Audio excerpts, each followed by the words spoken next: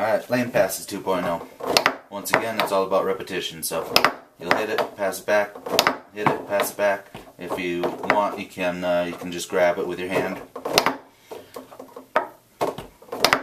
and just do them over and over and over. If you start to miss them, then slow it down again, and as you make a couple in a row, slowly start to speed it up. In uh, real games, and actually in, in, for, for, this drill, I think this is perfect. Uh, one thing I think about is as quickly as I can lining lining up with this ball. So as soon as I pass it, I'm just trying to get right 100% behind it, and that's the only thing I have to. As, as soon as I think about that, then the pass is done. So um, I'd suggest that, and make sure you're passing straight forward again. But yep, this is the way to pass it dial in that muscle memory.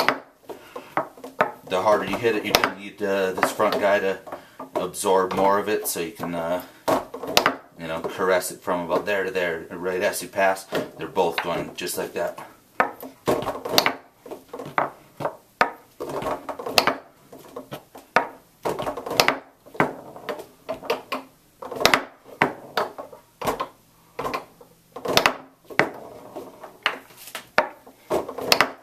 Good luck.